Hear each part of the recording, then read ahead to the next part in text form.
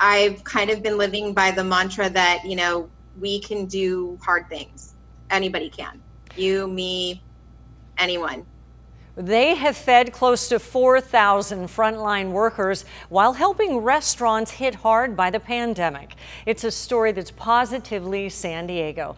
10 News reporter Anthony Pura spoke with a business owner who says it's a lifeline during these trying times. It's a challenging time for Blue Box Bagels and Brew in Sorrento Valley. Their customer base all but disappeared during the pandemic. But in April, a call came in for 240 bagels and 10 boxes of coffee.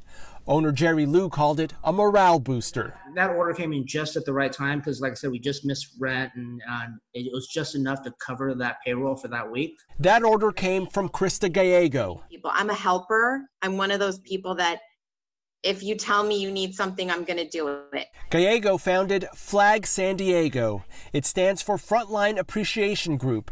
They raise money through crowdfunding and grants, then order meals in bulk from restaurants to be sent to those working long hours to fight the spread of COVID 19. Lou's Bagels and Coffee went to healthcare workers. Flag started in New Jersey but quickly gained chapters around the U.S.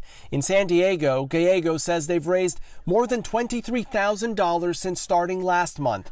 It's translated to roughly 3,700 meals and counting. Last week, we really focused on nurses for National Nurses Appreciation Week. Started on May Day with a delivery of 600 meals to the VA hospital.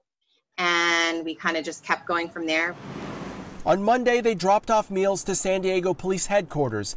This week, they will be feeding officers across the county. Next week, it will be lifeguards. We okay. want to get out to grocery store workers, delivery guys. We've been trying to get to truckers. Gallego says there are nearly 80 restaurants that have signed on to participate. Keeping these big orders with them, like 600 meals at a time, is valuable. As for Blue Box Bagels and Brew, that first large order was followed up with a second, even larger one. The owner saying it was gratifying on all levels. So it felt really rewarding uh, in a way that uh, we, we, were able to kind of contribute to sure. show our appreciation for everything that they do by risking you know, their health every day. Anthony Pura, 10 News. If you'd like to donate, there will be a link on our webpage, 10news.com.